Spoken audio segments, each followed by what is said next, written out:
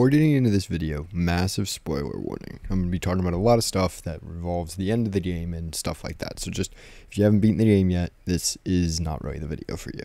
So, Elster's Gestalt is a face without a name. We see her many times in the flashbacks that occur during the Persona degradations in Eternity, and learn much about her from both Elster's actions as well as the photograph. But ultimately, we are never directly told her name. Instead, it's more to theory, and for most of Signalis' theory history, the solution amongst theorists has been that the true Gestalt is Lilith Itou. However, recently, there has been a counter theory raised that perhaps we were wrong, and that the actual Gestalt was Huang Ana. Today, we will address the arguments of both sides, explaining what we know about these two characters before finishing up with my own opinions on the matter. So with no more delay, let's get right into this.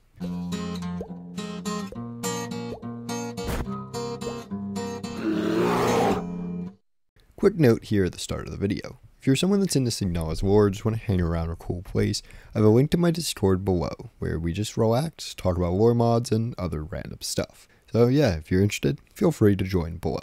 So before we get into anything, let me provide the context for my opening statement. Elster's Gestalt is shown to us in several scenes.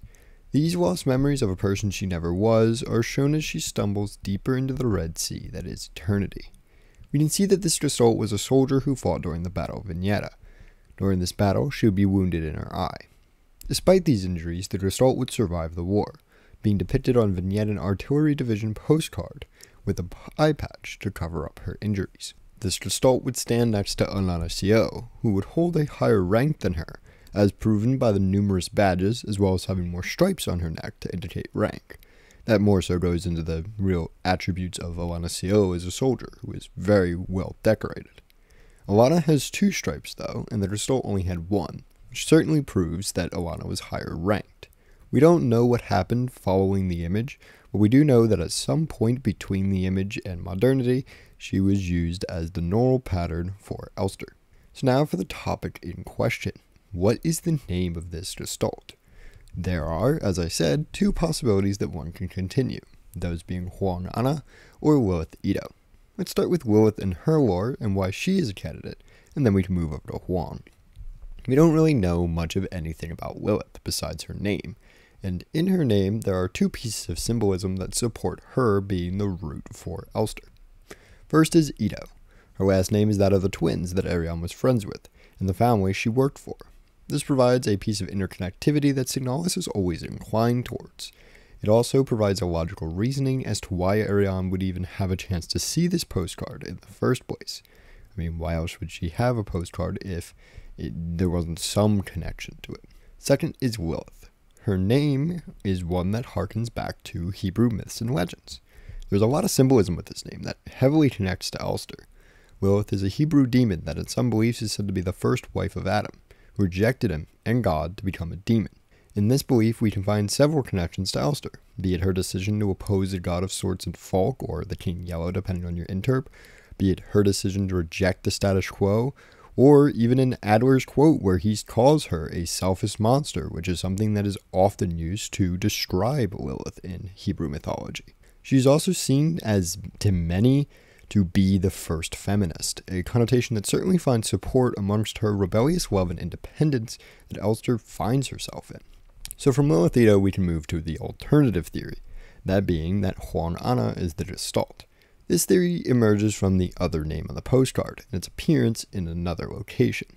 The top of the list is Huang Ana. Again, bar her name, we know nothing about her though it is theorized that due to the position on the list, she could be the CO or commander of the squad, because her name is on the top of the list, and the second name on the list, Alana Sio, is extremely highly decorated. So it could be wagered that perhaps the list is numbered or ordered based off rank. We see her name somewhere else though, that being on the safe with the butterflies within it, and the password of this safe is none other than Elster. Some have taken this to imply that she is Elster's Gestalt, and the woman in the photo, because why else would these two things be connected? Personally, I think I have a different explanation, and I don't really believe in this connection. Huang means yellow, or at least in some way means yellow. I'm not native Chinese speaker, but I've seen some others who know more about the language mention this. So having the squad commander of the Vineta Corps being Anna of the Yellow could be seen as symbolic that the king was behind the war, or at the very least played a major part in this. Having the safe with butterflies in it be owned by Huang is also symbolic that the king could be behind these butterflies. Butterflies adorned with the letters of Aeon, butterflies that also crowd Elster at the start of each cycle. It would also support the notion that Elster's gestalt isn't Huang, and rather Huang is just the one who's been behind the scenes watching Elster since the very beginning. And by Huang, of course, I mean the king in yellow. Again, that would really require you have more of a KIY interp, and I can understand why other people who do not follow such an interp wouldn't exactly put those two things together. So in conclusion, I don't think Huang is the Gestalt. Rather, Huang is a icon or member of the king, much like how we see Adler is, and Lilith is the true Gestalt. But just like everything in Signalis, it's supposed to be murky. I completely understand that. But with that, I've now covered my thoughts on Elster's Gestalt, as well as the two main theories on this matter.